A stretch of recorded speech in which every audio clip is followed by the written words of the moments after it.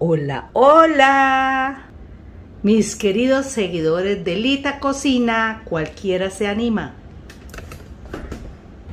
A ustedes les gusta mucho que hagamos videos de almuerzos completos, pues entonces, hoy rápidamente, así tengo que hacer un, almuerzo súper rápido.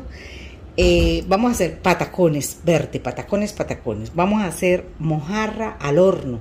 Ya me están trayendo las mojarras. Vamos a hacer arroz con coco y una ensalada. Es muy fácil, todo es muy rápido. El arroz con coco lo voy a hacer acá en mi arrocera, pero no voy a utilizar esta parte. Voy a quitar la vaporela. Voy a poner a hacer el arroz con coco mientras llegan las mojarras. Muy fácil. Vamos a lavar el arroz. El arroz que yo le voy a enseñar es un arroz supremamente fácil porque el arroz que aprendimos a hacer, el de los chicharrones con la leche y coco, no, nada de eso, esto es muy rápido. Enchufé la olla y aquí voy a colocar aceite, voy a colocar aceite de coco porque yo ahora estoy cocinando con aceite de coco, este sin sabor y sin olor. Pero si ustedes tienen con sabor y olor, pues mucho más rico. Entonces voy a agregar unas dos cucharadas. Ustedes saben que el aceite de coco por ninguna forma engorda. Completamente comprobado que no engorda el aceite. Pues yo vengo cocinando con aceite de oliva, pero me estoy pasando a las... Este es el de oliva. Me estoy pasando al aceite de coco. Bueno, ahora entonces voy a agregar el arroz. Ustedes tienen ahí su medida, ustedes miden para las porciones que tengan, pero yo les voy a enseñar a ustedes cómo cómo es el nivel del agua, así no tengan medida, cómo es el nivel del agua, para que les quede precioso. Agregamos sal, por supuesto. Agregamos panela panela o piloncillo o papelillo no sé qué. Si no tienes panela puedes agregar un poquito de azúcar morena. Mire que esto es muy poquito, muy poquito, es para darle un saborcito. Y agregamos, si usted tiene esto color caramelo, le puede agregar. Yo no tengo, entonces le voy a agregar un poquito de, de salsa de soya. El color caramelo es mejor porque con poquito tiene. Bueno, yo le voy a echar salsa de soya así abundantica para que me cambie el color. Si tiene uvas pasas, se las agrega. Si no, yo no tengo en este momento, pero sí le voy a agregar el coco. Bueno, yo compro coco deshidratado. El coco deshidratado, uno viene con dulce y otro viene sin dulce. Este viene con dulce, pero este ya es el empaque porque ya lo gasté. Hemos conseguido en el mercado un, un coco, mire, como deshidratado, pero es como artesanal me encantó. Voy a probarlo y le voy a echar eh, pues suficiente porque este no mm, viene con sus sabores naturales. Entonces, yo le voy a agregar así como generosito porque a mí me encanta demasiado el coco. Voy a revolver. Acuérdense que esto lleva sal, ¿no? Esto lleva un poquito de sal. A veces hay personas que le agregan cebolla, no sé qué, pero bueno con que llevemos sal suficiente. Mire, va a quedar súper divino, divino, divino porque llevaba suficiente coco. ¿Cómo es de fácil hacerlo? Yo he comido ese coco en otras preparaciones. Me encanta. Voy a enseñarles cómo se le coloca el agua. En esta época que hay bloqueos y que la gente ha tenido que recurrir a esta olla eléctrica, entonces, eh, esto ha sido muy útil. Mire el agua. El agua ustedes en el recipiente que quieran, en la medida que ustedes hayan escogido. Vamos entonces a agregarle el agua. La medida es que lo tape, que lo tape apenas. Vamos a mirar. Vamos a mirar. Mire, yo quiero mostrarles allá. Mire, esto es la medida, vea. Apenas así, mire, mire no quedó así muy, muy mojado. Esta es la medida precisa. Ahora vamos a tapar. Ah, si ustedes tienen esencia de coco, le pueden agregar media cucharadita la pequeñita, o sea, un chispón, como decimos, de esencia de coco. Tapamos. Encendemos nuestra ollita. Mire, paso para acá. Y ya estamos tranquilos. Si usted quiere puede probar los sabores y ahí usted dice, bueno, me falta tal cosa, me falta algo, y ya listo, ese arroz ya solito se hace. Ya estuvo, esto es supremamente rápido, miren, miren ese arroz delicioso, yo lo voy a dejar todavía ahí, que se conserve, pero el arroz prácticamente ya está. Vamos con el patacón. Entonces el patacón, le quitamos las puntas, este ya está lavado, desinfectado. Eh, vamos a hacerle unas incisiones a lo largo, varias, para facilitar la apertura del platanito. A veces me coloco bolsitas en las manos porque a veces mancha, pero no, este no le veo que esté soltando mancha. Lo voy a poner debajo del chorro del agua para quitarle y esto es muy fácil así, mire. Entonces acá nosotros cogemos, mire, vea cómo suelta de fácil. ¿Lo sabían? Mire, mire, mire, mire, mire. Lo suelta súper fácil. Pero lo voy a colocar allá debajo del agua para que no me vaya a manchar. Allá lo seguiré abriendo. Ahora lo voy a cortar más o menos de dos y medio centímetros. Así. Así. Así. Me van a salir bastantes. Me van a salir uno, dos, diez, once. Aquí, mire.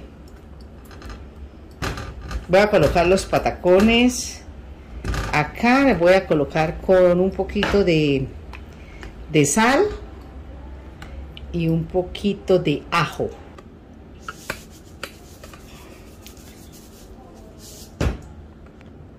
Les di la vueltecita con salecitas. Ya encendí mi freidora y ya hay que dejarla que esté bien caliente. Está bien caliente la freidora. Coloqué los pataconas ahora las voy a colocar a 160 porque como está verde hay que dejarlo que se cocine un poquito lo voy a dejar por ahí a 160 más o menos unos 5 minutos o 7 minutos lo saco, le doy la vueltecita 3 minutos más y luego ahí sí le subo a 180 hasta que estén dorados y crujientes ya están, ya las volteé, ya empezaron a dorar un poquito. Mire, están un poquito blanditas. Voy a espicharlas. He machacado y picado unos dientes de ajo. Los voy a pasar acá. Ahí le voy a colocar un poquito de agua. Sal porque ya tiene. Voy a agregarle un poquitico de aceite porque ahí los voy a hidratar ahora después de que los machuque o los machaque.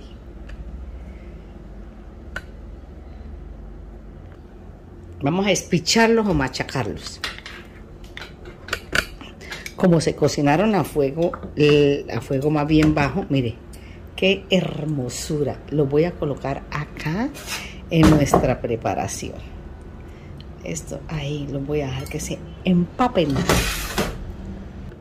Ustedes vieron que lo hice a temperatura baja. Uno, dos, se espichan cuando estén calienticos. Vea, cuando estén calientes. Entonces quedan muy saludables, muy ricos. Este aceitico, a mí me gusta más echarles un poquito de aceite de coco porque ahora estoy cocinando con aceite de coco. Bueno, yo creo que con esos que, que, que les mostré suficiente. Voy a terminar. Bueno, este procedimiento de mojarlos un poquito con ajo se puede obviar. Eso se puede suprimir. Las mojarras las iba a hacer en el horno, pero como esto está bien caliente, les voy a hacer aquí, aquí dos mojarras grandes. Y mi olla es pequeña. Estas son las mojarras que voy a preparar. Dos, están bien grandes. Eh, fueron adobadas con un poquito de ajo en polvo, eh, sal, no tiene nada más. Coloqué la freidora a 180, o sea, está en su máxima temperatura, perdón, está a 200, a 200 grados centígrados quiero que esté súper, pero súper caliente para colocar las mojarras. Las dejo 5 minutos y luego le bajo la temperatura.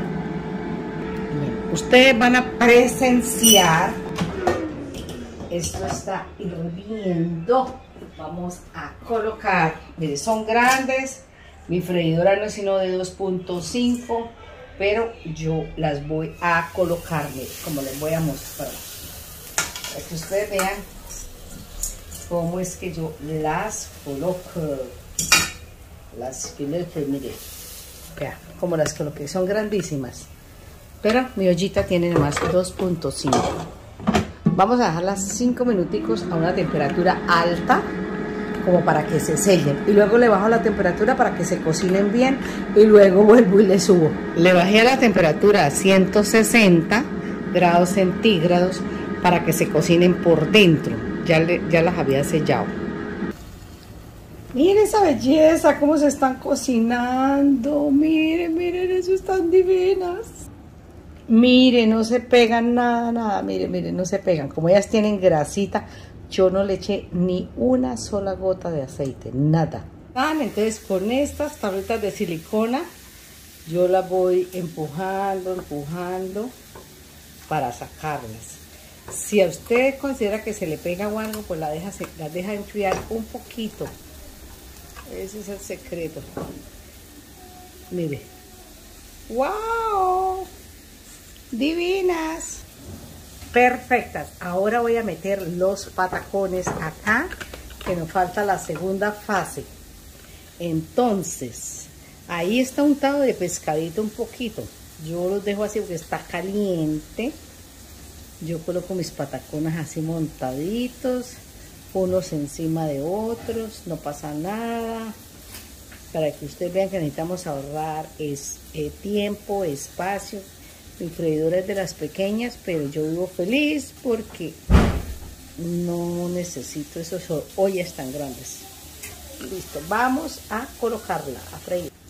Bueno, le estoy dando vuelta a los pataconcitos, yo lo estoy haciendo así con la mano porque es que eso no se pegan ni nada. Voy a dejarlos otro rato hasta que estén bien doraditos.